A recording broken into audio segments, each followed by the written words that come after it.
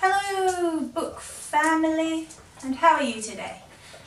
Today is my July TBR and I'm going to be taking part in a month-long readathon called the Book Junkie Trials. Um, there's a personality test.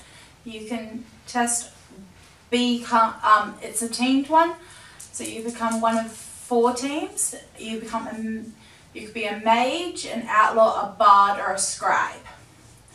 Now I took the personality test and I became a mage.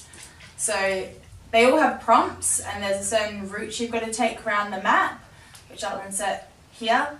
Um, yeah.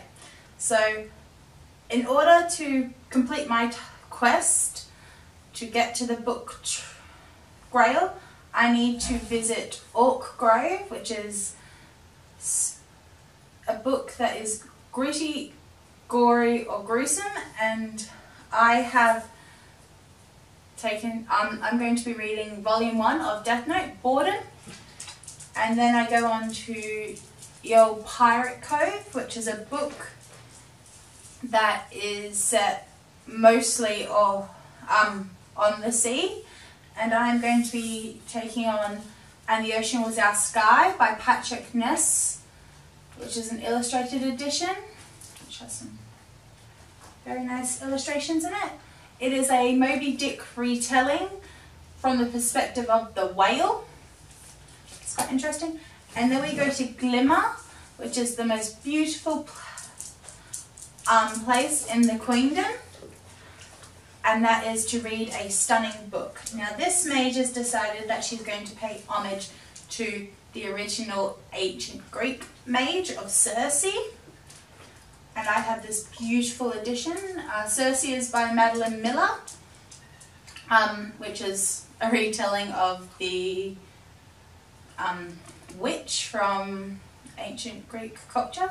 So it's just a really stunning book. And then we go on to the, the Draconic Isles, which is to brush up on some of our dragon knowledge and lore. And I'm going to be taking on this chunker of a book of The Priory of the Orange Tree, which I'm going to be going between audio and physically reading this book.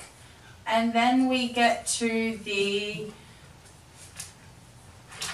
the Holy Grail, well the Bookish Grail, which is we have found a lost manuscript of a book and the group, so everyone will eventually end up at the Bookish Grail and that is to read Stardust by Neil Gaiman, which is great because this is, I've been trying to get into Neil Gaiman this year, so this will be my third dive into Neil Gaiman.